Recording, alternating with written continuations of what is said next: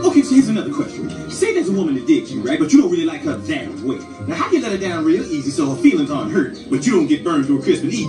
How you do that? Just tell her she's not your true love. Everyone knows what happens when you find your.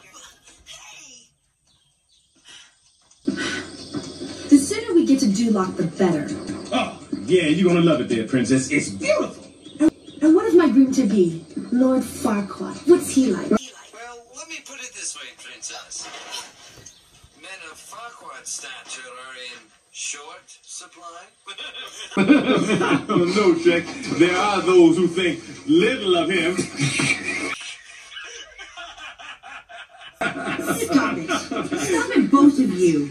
You know, you're just jealous that you could never measure up to a great ruler like Lord Farquaad. yeah. Well, maybe you're right, Princess. But I'll let you do the measuring when you see him tomorrow. Tomorrow? It'll take that long? Shouldn't we stop to make camp? No, No, that'll take longer. We can keep going.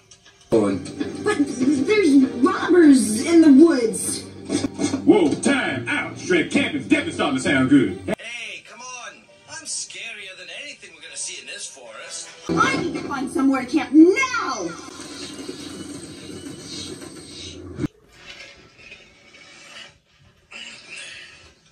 Hey, over here.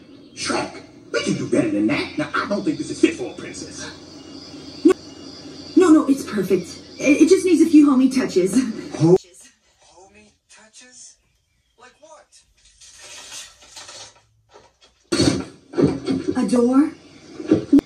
Well, gentlemen, I bid thee good night. Good night. Um, you want me to come in there and read you a bedtime story? Because I will. I, will. I said good night.